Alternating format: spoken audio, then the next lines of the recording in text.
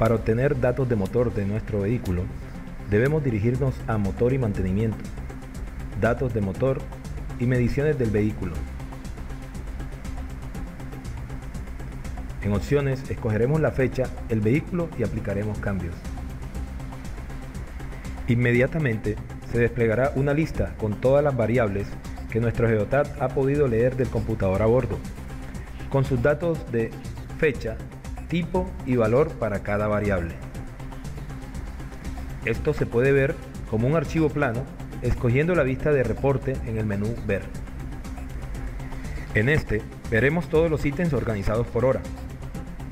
Pero si queremos analizar alguno en especial, debemos escribir el nombre exacto del evento o variable en la casilla Diagnósticos del menú Opciones y volver a llenar los datos de fecha y vehículos y luego aplicar cambios.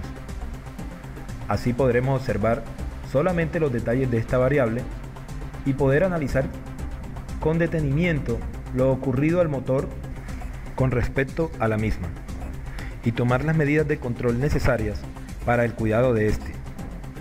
Dando clic sobre cualquiera de los datos, se desplegará el gráfico de dicha variable que será muy útil para el análisis de los límites de la misma y su comportamiento a lo largo de un periodo de tiempo. Simplemente nos moveremos por sus líneas y veremos el dato segundo a segundo con la opción de zoom en la esquina superior derecha o aún mejor la posibilidad de comparar este ítem con la velocidad en el menú opciones.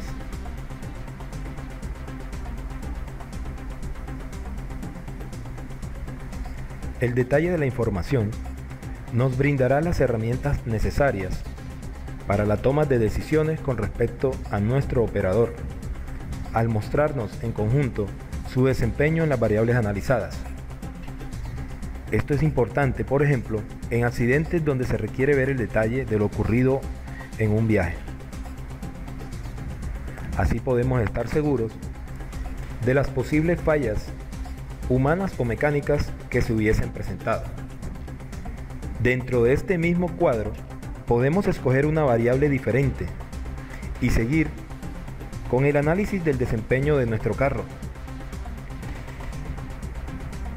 Como por ejemplo ver el porcentaje de nivel de combustible, ingresando a tipo de diagnóstico y escribiendo Fuel Level. Obviamente si esa información es brindada por el computador a bordo.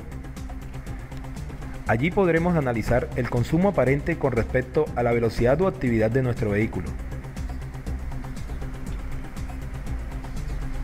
Nos dirigimos aquí a opciones y activamos la casilla mostrar la velocidad del vehículo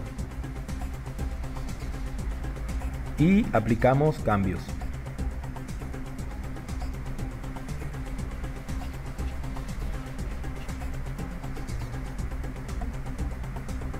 Comparamos nivel del tanque con la velocidad en el tiempo preciso.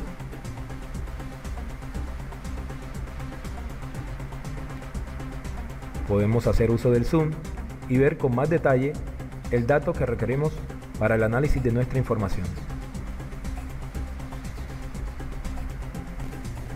Vemos pues de este modo que en este módulo podemos analizar todas las mediciones de las variables que afectan nuestro motor.